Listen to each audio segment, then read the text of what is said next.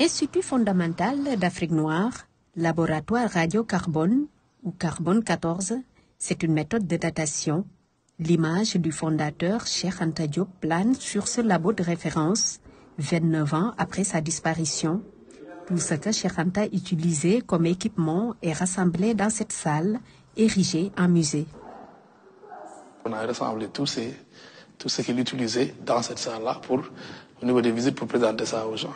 C'est avec ce banc de synthèse que Cheikh Anta a montré que l'Afrique était le berceau de l'humanité. C'est la méthode, par exemple, du potassium argon, n'est-ce pas, qui a permis de faire des découvertes très importantes. Cette méthode a permis, en paléontologie humaine, de montrer que le berceau de l'humanité, c'était bien l'Afrique, par la découverte des vestiges les plus anciens en Afrique, dans les Grands Lacs. C'est ce banc de synthèse qu'il utilisait pour faire la transformation des échantillons.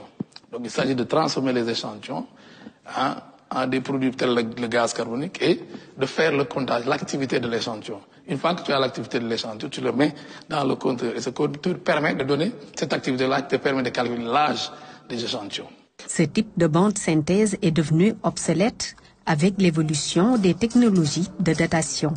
Donc nous, on a un compteur à scintillation liquide. Mais lui, il utilisait ce compteur que vous voyez là-bas, c'est un compteur qui exige la transformation de l'échantillon en gaz. Ce gaz-là est mis directement dans le compteur proportionnel.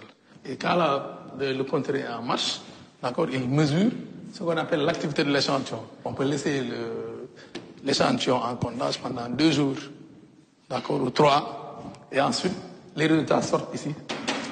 On les analyse, on fait la statistique et on calcule l'activité moyenne de l'échantillon qui nous permettra, avec les logiciels qui sont dans nos machines, de calculer l'âge de l'échantillon. On a fait beaucoup de publications, je ne vais pas les citer. Hein, une thèse, et un, un DA et un diplôme d'ingénieur ont été faits ici dans ce laboratoire. Mais ici, il n'y a pas de budget dans ce laboratoire. C'est le, laboratoire de Diop où ça demande vraiment de on n'en a pas. Le laboratoire Carbone 14 n'est soutenu que par le modeste budget de l'IFON. Aujourd'hui, il a besoin de financements conséquents lui permettant de perpétuer les travaux de Cheikh.